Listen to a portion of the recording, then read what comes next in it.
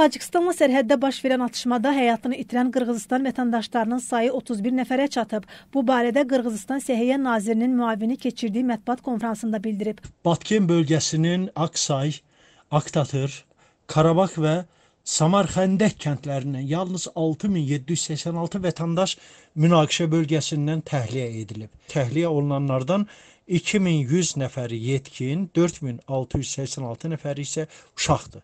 Xəbər vermişdik ki, Qırğızistan Milli Təhlükəsizlik Komitəsinin sədri Kamçıbek Taşıyev Tacikistanlı həmkarı ilə görüşə yola düşüb.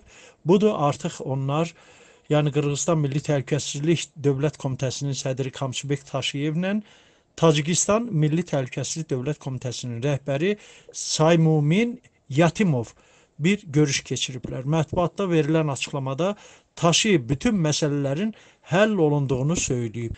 Özbəkistan prezidenti Şövkət Mirziyoyev Tacikistan rəhbəri İmomali Rahmonla telefonla Qırğızistan-Tacikistan sərhədindəki vəziyyəti müzakirə edib. Özbəkistan prezidenti Tacikistan və Qırğızistan tərəflərinin mövcud vəziyyətin mümkün qədər tez həll edilməsi və böyüməsinin qarşısının alınması məqsədi ilə əldə etdikləri razılaşmaları dəstəkləyib. Qırğızistan prezidenti Sadır Caparov Özbəkistan prezidenti Şevkət Mirzəyevlə telefon söhbəti aparıb. Telefon Şevkət Mirzəyev tərəfindən edilib. Söhbət zamanı regional qarşılıqlı fəaliyyətin və ikitərəfli gündəliyin aktual məsələləri nəzərdən keçirilib. İki ölkənin liderləri mövcud vəziyyəti və Qırğızistan-Tacikistan sərhədindəki vəziyyəti ən qısa müddətdə həll etməyin yollarını müzakirə ediblər.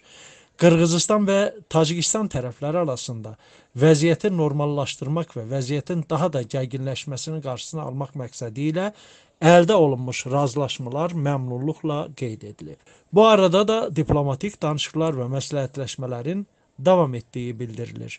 Sərhəddə baş verən atışmada xəsarət alan Qırğızistan vətəndaşlarının ümumi sayı 154 nəfərdir. Onlardan 121-i mülki şəxslərdir. 43 yaralı təyyarə isə Bişkekdəki tibb müəssisəsinə çatdırılıb. 2 yaralının vəziyyəti ağırdır. Bu arada Tacikistan tərəfindən təxminən 10 nəfərin öldüyünə dair məlumat verilir. Məlumata görə 90 Tacikistan vətəndaşı yaralanıb.